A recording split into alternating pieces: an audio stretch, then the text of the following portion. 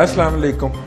آج ہم بات کریں گے افغانستان کی۔ افغانستان جو ہے، اس کے بارے میں بڑے پرانے ایک برٹش رائٹر نے لکھا تھا۔ اس کا نام میں بھول گیا ہوں، لیکن اس نے بڑی کمال کی بات لکھی تھی۔ اس نے کہا تھا کہ افغانستان کو فطرت نے ایک پیالے کی مانند بنایا ہے۔ اور یہ پیالہ وہ ہے کہ دنیا کی تہذیبیں آئیں اور اس میں ڈوب کر غرق ہو جائیں۔ اور اگر ہم اپنی اس ایک پچھلی ایک ڈیڑھ صدی کی بات کر لیں، تو ہم نے اس وقت کی سب سے بڑی قوت برطانیہ کو اس کو اندر ڈوبتے ہوئے دیکھا۔ ہم نے روس کو اس کے اندر ڈوب کے تباہ ہوتے ہوئے دیکھا۔ اور اب ہم امریکہ کو بھی اسی پیالے کے اندر جاتا ہوا دیکھ لیتے ہیں، ماضی کی طرف چلے چلے۔ اگر ہم سکندر کی بات کر لیں، اس سے پہلے جتنے بھی حملہ آور آئے، وہ جب بھی افغانستان پہ حملہ آور ہونے کی کرتے ہیں جسارت یا غلطی اس کے بعد ان کی تہذیب جو ہے وہ تاریخ کے سینے میں دفن ہو جاتی ہے اور نام و نشان نہیں بچتا۔ یہ تاریخ کا سبق ہے۔ امریکہ جو ہے وہ یہ سبق شاید سیکھ کے یہاں سے نکلنے کی جستجو میں ہے۔ اور اس نے یہ کہا ہے کہ جو کچھ مرضی ہو جائے، میں جا رہا ہوں۔ جو کچھ مرضی ہو جائے۔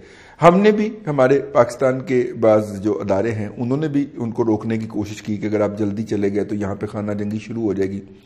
انہوں نے کہا کہ نہیں، ہم نے تو جانا ہی جانا ہے، آپ اپنا ارینجمنٹ کر لائیں، کر لیں۔ اس وقت امریکہ کے افغانستان سے وڈرول کے اوپر مذاکرات ہو رہے ہیں۔ اور مجھے خدشہ اپنے ان صحافی نما دوستوں کا ہے، جو کہ بہت ساری ایسی این جی اوز کے ساتھ منسلک تھے، جن کی بدولت ان کا دال دلیا، بیرونی دورے بڑے ٹھیک چل رہے تھے۔ اب ان بیچاروں کا اسلام آباد میں کیا بنے گا؟ لیکن خیر، یہ تو ایک لائٹر وین تھا۔ اس وقت افغان طالبان کے اندر اور امریکہ کے درمیان مذاکرات ہو رہے ہیں۔ افغان طالبان میں جو اس وقت کی موجودہ قیادت ہے، ملا حیبت اللہ اخمد زادہ ہو، عبدالغنی صاحب ہوں، حقانی صاحب ہوں یہ سارے کسی نہ کسی دور میں پاکستان میں رہ چکے ہیں اور پاکستان کے معاشرے کو بھی یہ سمجھتے ہیں اور شاید پاکستان ان کو بھی سمجھتا ہے۔ تو جب طالبان کو نیگوسیشن ٹیبل پہ لانا تھا اور آج سے کوئی سات یا آٹھ ماہ پہلے بلکہ آپ سمجھ لیں کو ایک سال پہلے ہمیں کچھ ذرائع سے رپورٹ ملی اور دعویٰ کیا گیا کہ امریکہ مذاکرات کی بھیک مانگ رہا ہے۔ تو ہم نے اسے مذاق سمجھا۔ اور اس کے بعد ٹرمپ صاحب کے آتے ہی یہ سلسلہ شروع ہو گیا تھا۔ لیکن ہم نے اسے سمجھا کہ شاید یہ کوئی بہت بڑی بڑھ ہے بڑک ہے۔ شاید ایسا نہیں ہو سکتا۔ لیکن وقت گزرنے کے ساتھ ساتھ جب مذاکرات کا آغاز ہوا تو ان مذاکرات کے لیے basic raw material, Afghan Taliban کو ٹیبل پہ لانے کا جو مٹیریل تھا وہ پاکستان نے پرووائڈ کیا۔ بہت سارے ایسے ان کی قیادت، ان کے لوگ جو پاکستان میں علاج کی غرض سے یا کسی دوسری غرض سے آئے ان کو پکڑا گیا ہوا تھا۔ جب ان کو چھوڑا گیا تو پھر مذاکرات کی ٹیبل سجی۔ ہم نے بڑے نعرے شارے لگائے کہ اسلام آباد میں اگلا دور ہوگا، لیکن اسلام آباد میں نہیں ہو سکا۔ سعودی عرب میں بھی نہیں ہوا۔ انہوں نے ایک نیوٹرل پلیس کے اوپر، جس کو وہ اپنا گھر کہتے ہیں، ان کا اپنے دفتر میں انوائٹ کیا۔ پہلے جو بیگننگ کے مذاکرات تھے، وہ تو ٹھیک ہے، یو اے ای نے ہوسٹ کر لیے، لیکن بعد کے مذاکرات جو فیصلہ کن تھے، وہ دوحہ میں ہوئے۔ اگر اس موضوع کو کھولا جائے تو بہت دور تک بات چلی جائے گی۔ لیکن دو پہلو ہیں۔ بہت سارے لوگوں کے اس وقت خدشات ہیں کہ افغانستان کے اندر اس کے بعد امن ہو پائے گا کہ نہیں ہو پائے گا۔ تو ہمیں دیکھنا ہوگا کہ جب روس کے خلاف مزاحمت تھی تو اس وقت کیا صورتحال تھی۔ برہان الدین ربانی ہوں، احمد شاہ مسعود ہوں گلب الدین حکمت یار ہوں جلال الدین حقانی ہوں، جو بھی ہوں یہ وہ لوگ تھے جن کو بھٹو صاحب پاکستان لائے تھے اور پاکستان سے انہوں نے افغانستان، چونکہ پختونستان کا شوشہ چھوڑتا رہتا تھا۔ تو ہم نے بھی وہاں پہ کہا کہ ٹھیک ہے، پھر تمہارے جو باغی ہیں، ان کو ہم آگے بڑھائیں گے۔ اور نتیجے کے طور پہ جب روس وہاں پہ آیا اور اس کے خلاف مزامت کا ڈول ڈالا گیا، تو ہم نے اس قیادت کو اس میں جھونکا۔ اور یہ سارے لوگ وہاں پہ کارآمد ہوئے، پھر امریکنز کا اسلحہ آیا۔ اور یوں افغانستان روس کا قبرستان بنا۔ اس کے بعد ہم نے ان سب کے کو بٹھایا، خانہ کعبہ میں اور آپس میں ان کی بات چیت کروائی اور وعدے وعید ہوئے اور قسمیں ہوئیں۔ اور اس کے اس کی بنیاد کے اوپر برہان الدین ربانی صاحب جو تھے، وہ افغانستان کے کثر صدارت کے اندر براجمان ہو گئے۔ لیکن انہوں نے احمد شاہ مسعود کے ذریعے گلب الدین حکمت یار کو کابل میں گھسنے کی اجازت دینے سے انکار کر دیا۔ گلبدین صاحب ارد گرد کی پہاڑیوں پہ بیٹھ کے کابل پہ گولہ باری کرنا شروع ہو گئے اور پھر اس کے بعد ایک بد امنی کا اتنا خوفناک دور چلا کہ جب طالبان نے کتاب ہاتھ میں اٹھائی، میں کتاب الفرقان کی بات کر رہا ہوں، قرآن مجید ہاتھ میں اٹھا کے نکلے تو کسی نے آگے سے مزاحمت نہیں کی۔ ورنہ تو یہ تھا کہ یہ سڑک جو ہے، یہ فلانے کمانڈر کی ہے اور یہ سڑک فلانے کمانڈر کی ہے، یہاں سے وہ بھتا لے گا، یہاں سے وہ بھتا لے گا۔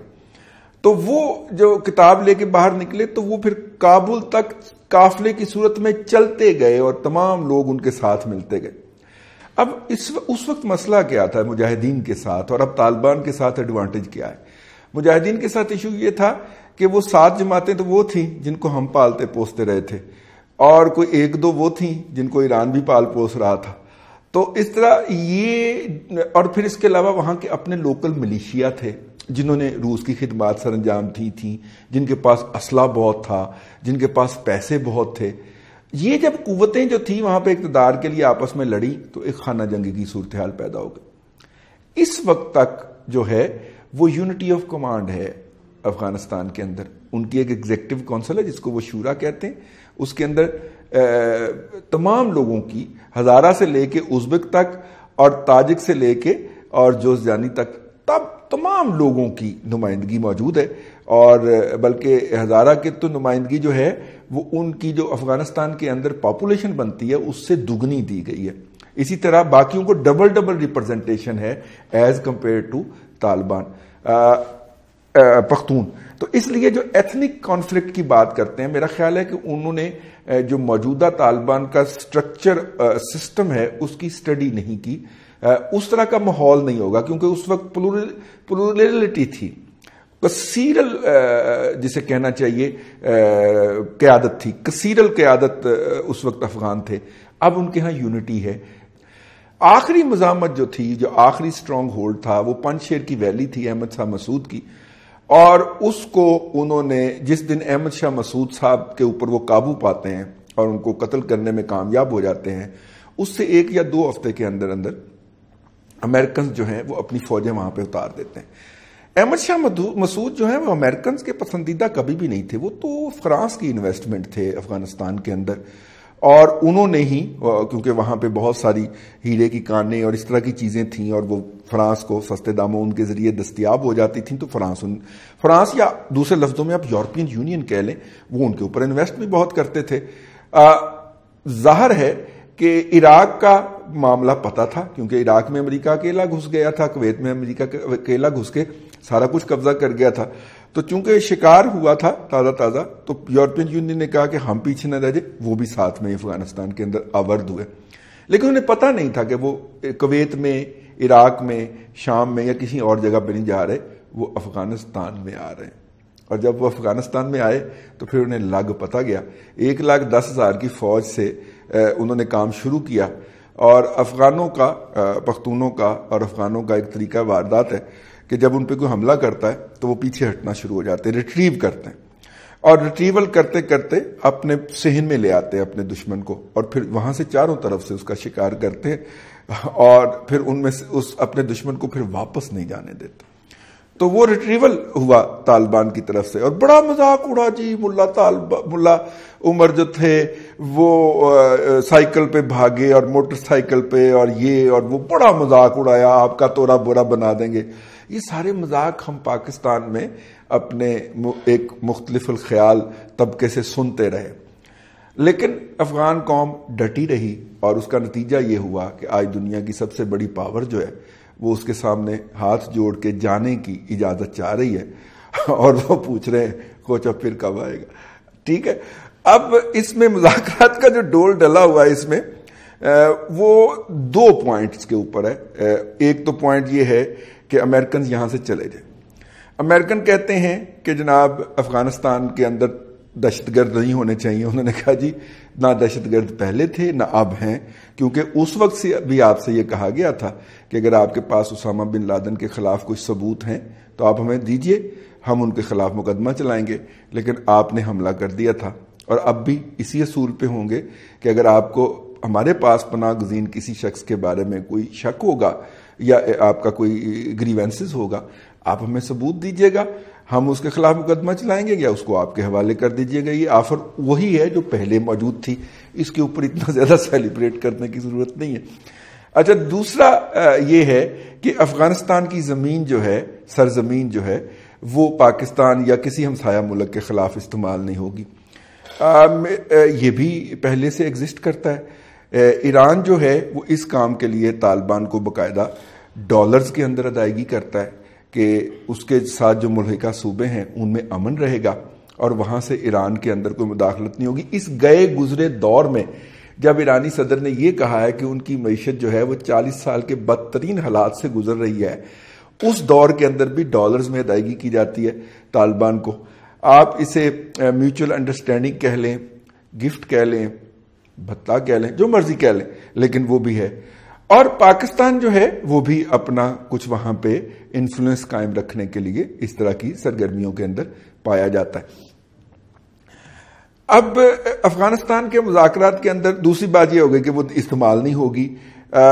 جتنی بھی اس وقت پختون نیشنلسٹ ہیں، بلوچ نیشنلسٹ ہیں یا ان کی علیحدگی کی تنظیمیں ہیں، وہ افغان طالبان کے سخت خلاف ہیں اور ان کے خون کے پیاسے ہیں اور ان کی کئی ایسی کالز جو ٹریس ہوئی ہیں وہ اس بات کی غمازی کرتے ہیں کہ انہیں اس بات کا بہت رنج ہے کہ اگر افغانستان کے اندر طالبان آ جاتے ہیں، تو اس کے نتیجے کے اندر وہاں سے جو ان کی سپلائی لائن ہے وہ بند ہونے کا شدید خدشہ ہے۔ اب کچھ حضرات جو ہیں وہ ہمارے اس کو ٹی ٹی پی تحریک طالبان پاکستان سے جوڑ لیتے ہیں۔ میرا خیال ہے یہ زیادتی ہے۔ ٹی ٹی پی جو ہے وہ ان گروپوں کا مجموعہ تھا جن گروپوں کو کشمیر کے اندر جہاد کے لیے تیار کیا گیا تھا۔ اور جب راتوں رات مشرف صاحب نے یو ٹرن لیا، اور یہ یو ٹرن کی روایت بڑی پرانی، تو یو ٹرن لیا اور انہیں بتایا گیا کہ کل اتنے رات بارہ بجے کے بعد آپ مجاہد نہیں رہیں گے، آپ دہشت گرد ہو جائیں گے، اس لیے نیوے نیوے ہو کے یہاں سے نکل جائیں۔ تو ان میں سے جو زیادہ تر لوگ تھے، وہ فاٹا کی طرف گئے۔ اور فاٹا میں جب انہیں افغانستان کے اندر امریکنز آ چکے ہوئے تھے، انہیں افغانستان سے نکل، کی طرف نکلنے کا موقع نہیں تھا، تو انہوں نے وہاں پہ اپنے گروپس بنائے۔ اور پھر ان ایکٹیویٹیز کے اندر شریک ہوئے یا شروع ہو گئے جو کہ کرمنل ایکٹیویٹیز ہوتی ہیں، جن جن میں گاڑیوں کی چوری سے لے کے اغوا برائے توان تک ساری سرگرمیاں شامل تھیں۔ اور ہم ٹی ٹی پی کا یہ فیس جانتے ہیں۔ جب ان گروپوں کے اوپر آنسلاٹ آیا تو انہوں نے مل کے ایک امبریلا آرگنائزیشن بنائی، جس کو ہم ٹی ٹی پی کے نام سے جانتے ہیں۔ اور ہم ان کو منتبک کرتے ہیں افغانستان کے طالبان سے، میرا خیال ہے اس ڈفرنس کو سمجھے بغیر اس پورے معاملے کی اور افغانستان کی صورتحال کی انڈرسٹینڈنگ نہیں ہو سکتی۔ افغانستان آئسولیٹڈ کنٹری ہے اور وہاں پہ چلنے والی انڈیپینڈنس کی تحریک جو ہے، وہ تو اس سے فردر آئسولیٹڈ تھی۔ اس کو بہت سارے معاملات کے لیے ہمسایہ ممالک کی حکومتوں اور اداروں کا جسے کہنا چاہیے باجگزار ہونا پڑتا تھا۔ باجگزار کا لفظ مجھے زیادہ مناسب لگا۔ اور ان کے ساتھ کمپرومائزنگ پوزیشن میں آنا پڑتا تھا۔ یقیناً جب وہ کمپرومائزنگ پوزیشن ختم ہوگی تو بہت ساری ایسی چیزیں بھی جو ہیں جن کو وہ اس لیے نظر انداز کر دیتے تھے کہ اگر یہ ہم سے کچھ، ہمیں کچھ دے نہیں رہے تو ہم سے کچھ لے بھی نہیں رہے، تو اپنا کام کرنے دیں، ہمیں ان میں انٹرفیئر نہیں کرنا۔ وہ اب آ جائیے جو مذاکرات ہو رہے ہیں۔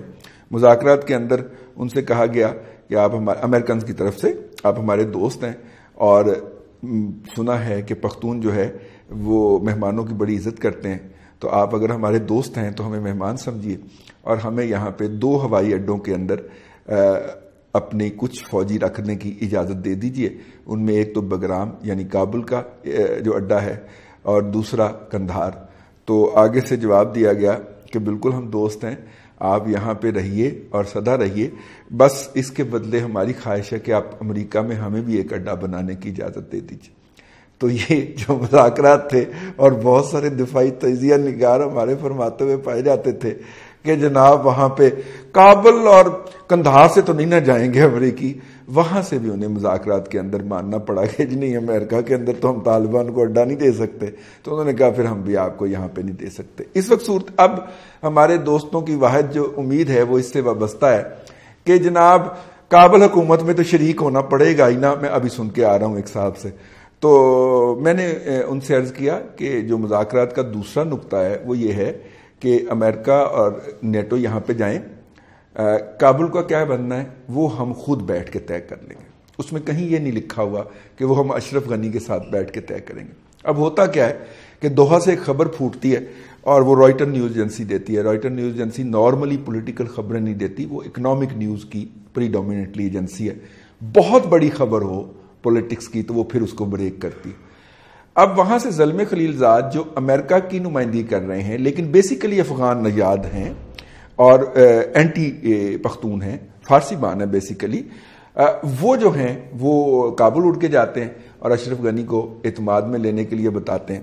وہاں پہ اشرف غنی کا جو محل پریس ریلیز جاری کرتا ہے اور وہ ہمارا میڈیا پوری کی پوری چلاتا ہے کہ جناب کوئی معاہدہ نہیں ہوا اور جناب کوئی معاہدہ نہیں کیا جائے گا اور افغانستان کے اندر، حکومت کے اندر ان کو جو جو کہ اس وقت اشرف غنی صاحب چاہ رہے ہیں اس کو شریک ہونا پڑے گا کابل حکومت میں آ کے یہی جو بات جو ہے، یہی ظلم خلیل صاحب جب امریکہ پہنچتا ہے وائٹ ہاؤس کو اور پینٹاگان کو بریف کرنے کے لیے، تو وہاں سے پھر وہی پریس ریلیز جاری ہوتی ہے کہ افغان طالبان کے ساتھ ہمارے تمام معاملہ طے پا چکے ہیں۔